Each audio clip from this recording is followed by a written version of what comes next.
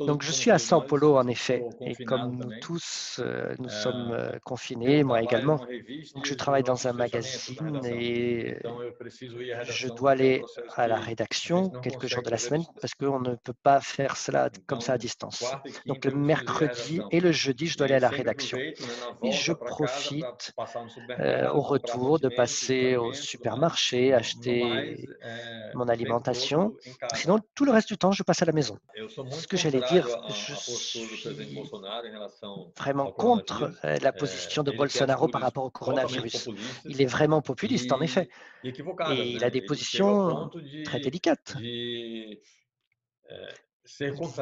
des choses contraires aux positions scientifiques. Ce n'est pas une question d'opinion parfois. Toutes les études indiquent qu'actuellement, la meilleure décision est le confinement. En Europe, vous avez connu des cas vraiment graves, comme en Espagne, en Italie, y compris la France, qui le démontrent. Mais en tout cas, l'Espagne et l'Italie surtout ont, été des grands exemples qui démontrent que le confinement est euh, fondamental au début de cette crise. Et vous avez vu certainement les déclarations du président Bolsonaro. Il a dit que le coronavirus était toute une petite grippe, une petite crise. Il y a eu beaucoup d'inventions de la part des médias et il présente tout cela à la société. Et ça crée des problèmes, car les gens qui croient en lui vont ensuite euh, mépriser ce confinement, sortent dans la rue et la crise au niveau de la santé publique euh, s'accentue. Ici au Brésil, la situation est très compliquée et en partie en raison des déclarations de la part du président. Je suis à Tel Aviv, dans notre appartement. Ma vie est restée la même. Ma vie est restée la même parce que, en gros, je suis quelqu'un de très anxieux en permanence. Euh, je n'ai pas de voiture. Euh, je ne voyage jamais à plus de 500 mètres de notre, de notre maison. C'est la règle actuellement. En temps normal, je ne vois pas grand monde. Et donc, pour moi, cette époque de coronavirus, c'est vraiment une période où toute l'humanité sait tout d'un coup ce que c'est que de vivre comme moi, comme Edgar Keret. Et tout le monde comprend à quel point ma vie est difficile. Vous voyez, moi, moi ça, ça fait 50 ans que je vis ainsi, pas seulement pendant quelques mois, et ce n'est pas facile. Bon, si vous voulez me parler du gouvernement israélien, bah, on parle en gros de Benjamin Netanyahu. Euh, c'est lui qui prend les décisions. Le gouvernement, je dois dire, ne fonctionne pas vraiment. Benjamin Netanyahu n'a pas d'opposition au sein de son parti, ne partage pas les responsabilités avec qui que ce soit. C'est un guerrier solitaire qui marche en avant. Il veut faire tout, tout tout ce qu'il peut pour faire cesser le procès qui est intenté contre lui à l'heure actuelle.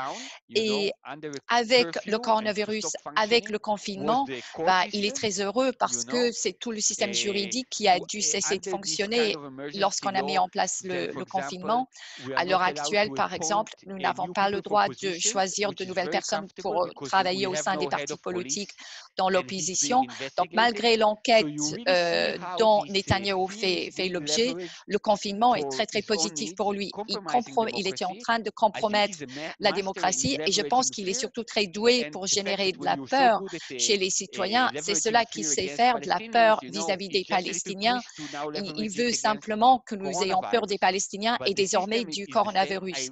Donc, au niveau du système politique, j'ai l'impression que dans notre cas, à l'heure actuelle, on est vraiment en train de voir comme la peur et le manque de savoir, le manque de connaissances qu'ont les citoyens lambda, bah, ils ont envie d'être soudoyés, ils ont envie d'écouter euh, une force euh, supérieure, ils sont contents d'être exploités et ils ne pensent pas à la démocratie. À l'heure actuelle, je suis à Boston, dans la maison où j'ai grandi. Normalement, je suis basée à Portland euh, ou à New York. Et vers la mi-mars, vers la fin du mois de mars, euh, tout commençait à, uh, plutôt mal se passer. Et à ce moment, je me, je me suis échappée, je suis venue jusqu'à l'endroit où je suis désormais.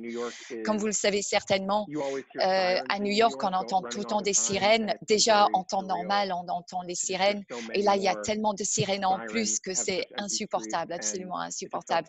Et donc, je ressentais le besoin de partir. Mais on a de la chance, on est dans une maison on essaie de vivre normalement, on essaie de mieux comprendre ce qui se passait, euh, ce qui s'est passé jusque-là. Um, J'essaie d'écrire, mais tout est très étrange. Pour moi, c'est très bizarre de dormir dans le lit où j'ai grandi en tant um, qu'enfant et de ne pas savoir de quoi seront faits nos lendemains. Mais voilà, nous avons beaucoup de chance que nous, nous sommes um, sommes en lieu sûr, mais ce n'est pas facile, même pour un écrivain qui aime s'isoler, qui aime être seul. Si je parle spécifiquement uniquement des États-Unis, je peux dire um, que ça pue, c'est nul, c'est très, très mauvais. Euh, c'est assez étrange parce qu'on a du mal à imaginer actuellement comment ce serait que d'avoir un président, un autre président. Pas seulement, um, pas seulement si je regarde la um, façon de Trump que de proposer un um, soutien financier aux uns et aux autres. Mais si je focalise plus précisément sur le temps de crise où on cherche euh, à ce qu'un leader nous calme, à ce qu'il nous rassure, ce serait fabuleux d'avoir une autre personne au sein de la Maison-Blanche um, qui nous guide à travers ces moments si difficiles. Et le fait que nous n'avons pas cela bah, fait que c'est très difficile d'imaginer que nous aurions pu avoir de la chance, nous aurions um, pu avoir une autre personne à la Maison blanche um, euh, je sais qu'il y a des personnes qui ont soutenu Bernie Sanders et si on regarde les différentes politiques, les différentes questions euh, pour, pour la santé que Sanders a proposées dans la campagne, euh, on se dit qu'on pourrait, on aurait pu être dans une toute autre situation. Je suis à Pékin à l'heure actuelle. Je suis dans mon propre appartement. Nous avons eu le confinement pendant un peu plus de deux mois. Uh, Et ensuite, nous avons eu la possibilité de uh, sortir. Donc actuellement, si vous voulez, je peux sortir. Je peux sortir librement. Au départ, nous, nous avons raté, je pense, une chance que, que nous avions pour uh, bien gérer uh, cette situation. Ça, uh, c'était tout au départ. Et encore aujourd'hui, je n'arrive pas à m'imaginer, je n'arrive pas à imaginer à quel point les citoyens de Wuhan euh, ont, ont souffert parce que toute la ville s'est fermée du jour au lendemain. Donc, j'ai du mal à savoir ce qu'ils ont ressenti, mais bien sûr, tout, le, monde a dit que c'est une très bonne décision que de fermer la ville, mais si je pense aux personnes, aux individus, je ne sais pas du tout comment c'était pour, uh, pour eux. Est-ce que, est-ce que ils ont réussi à faire face à toute cette situation?